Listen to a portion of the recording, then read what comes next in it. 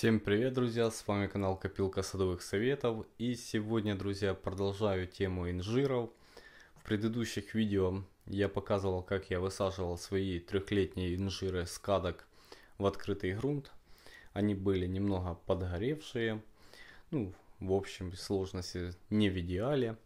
Ну, на данный момент они хорошо отошли в открытом грунте. Привыкли, можно сказать, так как новая листва выросла уже довольно зеленая, красивая. И также уже посозревали плоды. И сейчас, друзья, хочу сделать небольшой обзорчик, потом какие плоды кто вырастил, э, а именно три сорта моих. И вот сегодня сделаю небольшой обзор, потом какие они на вкус и как они и когда созревают. Так, друзья, первый сорт, о котором я хотел бы рассказать, это инжир Брунсвик.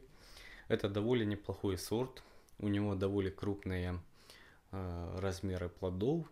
И, кстати, друзья, набирает сахар он, несмотря на то, что размеры большие, довольно классно. На данный момент, вот на сегодняшнее 12 августа, уже полностью вызрели плоды. И причем он созревает не по одному, там не растягивает срок, а вот именно созревают сразу все плоды. Э, конечно же, друзья, так как они э, проснулись в теплице инжирчики, и потом я их пересадил только в открытый грунт, то, соответственно, плоды они завязали намного раньше, и на следующий год это, конечно, будет совсем другой срок созревания. Ну, думаю, сроки растянутся, может быть, на месяц позже, может, конечно, и больше, но, тем не менее, он должен вызревать, так как э, все-таки он ранний. Так что, друзья, этот сорт, э, я скажу, что стоит выращивать. И плюсов у него, конечно, довольно немало. Следующий инжир, который я хочу вам показать, это инжир белый из Генуя. Этот инжир также у меня рос э, в катках. И э, также я его в этом году пересадил трехлетними кустами в открытый грунт. Об этом инжире я могу сказать, что он очень классный и у него плюсы то, что, во-первых, у него небольшие плоды, и так как небольшие плоды, они очень хорошо набирают сахар, созревает он раньше от брунцвика, а это вообще большой плюс. А еще один плюс у него то, что у него плоды не падают, а они висят и начинают завяливаться. И вот в этом году, друзья, поехал на море, и потому его не обрывал. И когда я приехал с моря и увидел эти завяленные плодики, э, думал, ну, на вкус, скорее всего, так себе.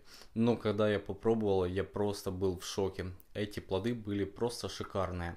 Так что, друзья, если есть возможность немного подвялить плоды, то делайте так, они наберут больше сахара, и эти плоды будут очень вкусные.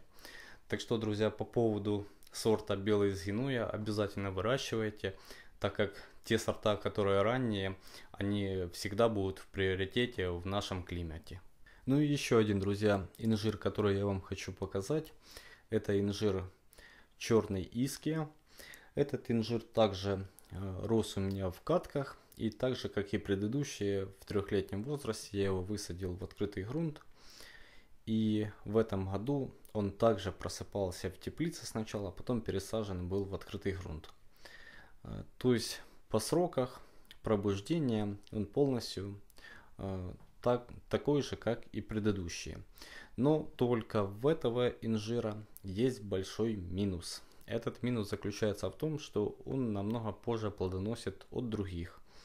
Э, на 12 августа предыдущие инжиры были полностью вызревшие, а этот вызрел полностью на 8 сентября. То есть разница почти в месяц. А так как он проснулся в теплице и раньше завязал, то, соответственно, в этом году он вызрел, а на следующий год, скорее всего, друзья, так как его сроки перенесутся чуть ли не на месяц вперед созревания, то, скорее всего, он не вызреет. А если он не вызреет, то зачем мне такой инжир? Так что, друзья, буду наблюдать, конечно, за этим инжиром. И пока что он, конечно, пусть растет.